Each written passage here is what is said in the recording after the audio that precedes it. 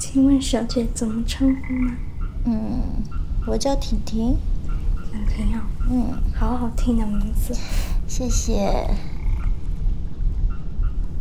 哦，那你是来这边度假的，还是在这边买了房子呢？嗯，我在这里有一套房子，但这一次是过来度假的。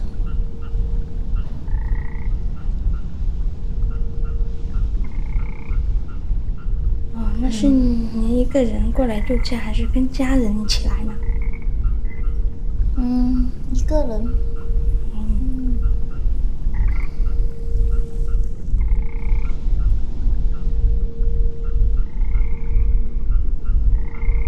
哦，您的这个纹身好漂亮哦。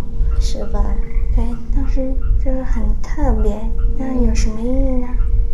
嗯，它是不是像一个海螺？